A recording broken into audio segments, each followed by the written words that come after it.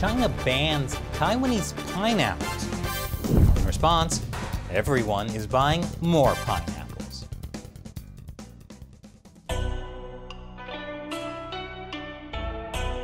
Welcome to China Uncensored. I'm Chris Chappell. Tensions are at an all-time high between China and Taiwan, especially after the Chinese Communist Party took over Hong Kong and showed the people of Taiwan what unification looks like. The Communist Party has been ramping up military pressure on Taiwan in recent months. And then, out of nowhere, China put a ban on the import of Taiwanese pineapples. The announcement came only a few days before the ban, very short notice. Chinese authorities claim it's an emergency issue of biosecurity. This ban was put in place even though all 600 batches of pineapples exported to China over the previous four months had been approved. But China's spokesperson said customs of the mainland have, in various instances, found pests in pineapples imported from Taiwan, which would have posed a serious threat to the mainland's agriculture and ecological security had they not been intercepted. The temporary ban is a scientific biosecurity measure and is in line with the mainland's laws, regulations, and standards. And no country has higher standards for food safety than China. The problem is, mainland China makes up 90% of Taiwan's pineapple export market. It's worth around 50 million US dollars a year. So the sudden ban was a huge blow to Taiwan's pineapple farmers. So how did Taiwanese people respond? by going bananas for pineapples. They bought up the entire year's worth of pineapple exports in just four days. People began posting photos online of huge pineapple buys. Cooking shows have started featuring creative pineapple dishes. Also bakeries, and noodle shops, and burger joints. And ooh, pineapple shrimp pad thai. And you know what they say, a pineapple a day keeps the doctor away. As long as you don't poke yourself in the eye. That's, um, never happened to me. This photo caption says, Today's work buddy, the Taiwanese pineapple. And unlike most of my friends, my pineapple buddy won't abandon me. Where was I? Oh, right. Support Taiwan, buy pineapples. I mean, who wouldn't want to buy pineapples? So pineapples have become all the rage in Taiwan. Overseas, too. Japan ordered 6,000 tons, and that wasn't enough. This is a Japanese supermarket. All the Taiwanese pineapples are sold out. I guess no one wants to buy Dole. Taiwan's representative in the US is promoting Taiwan's pineapples too. And the American Institute in Taiwan, which is the de facto US embassy there, shared a photo of director Brent Christensen with creative pineapple decor around the office. The caption says, Have you pineappled today?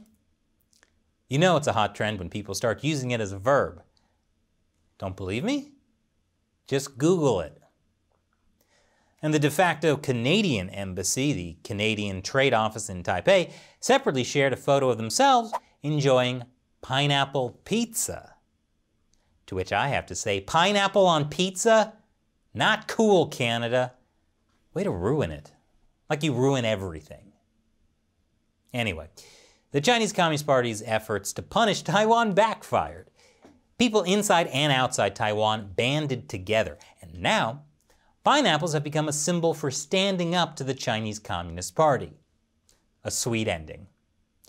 This Taiwan pineapple buying spree is a bit like what happened last year with Australian wine. After the Australian government called for an independent investigation into the origin of the coronavirus, the Chinese regime blocked or put tariffs on a wide range of Australian imports to China. That included a 200% tariff on wine. Chinese state-run media called it not a punishment, but simply an anti-dumping measure. Also, the Australian government had better grow up or face more pain. Yeah, totally not political. In response, there was a global call to buy Australian wine. Politicians encouraged people to buy Aussie wine. And even the White House featured Australian wine at a holiday reception. Andreas Fulda, an international affairs expert and author of a book about democracy in China, said, The danger of this to China is other countries notice.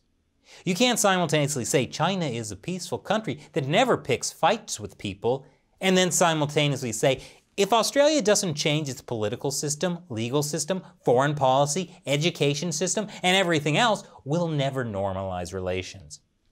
I think this wolf warrior diplomacy is inherently self defeating. And yes, he bought some Australian wine too. The Chinese Communist Party's attempts at coercion may work on people in China who are too terrified to respond, but outside China, people stand up and fight back. And the rest of the world gets to enjoy more delicious pineapple. Can the uh, Communist Party ban Taiwanese bubble tea next? I could really use some more bubble tea. And you can even put it on a pizza. Canada. And now it's time for me to answer a question from you a viewer who supports China Uncensored on Patreon. John Schultz says, To my knowledge, all giant pandas and their future offspring are apparently property of the People's Republic of China. Should the US and other powers appropriate the many pandas held in domicile as partial remuneration for the tsunami of intellectual and other property theft by the Chinese? Good question, John. You're right. Whenever a zoo anywhere in the world gets Chinese pandas, the deal is that the pandas still belong to the Chinese government. Zoos have to shell out up to $1 million a year to rent just one. And if any baby cubs are born, they pay an additional $400,000 baby tax. And those baby pandas belong to the Chinese government, so they have to be returned to China at some point. Now, your suggestion is the US and other countries could just hold on to the pandas as remuneration for intellectual property theft and other things the Chinese Communist Party owes. That's a great idea in principle, there's just one problem. If we did that, we'd have to keep the stupid pandas. Thanks for your question, John. Be like John and support China Uncensored on Patreon. Go to patreon.com slash China Uncensored to see how you can contribute a dollar or more per episode to help us keep this show going.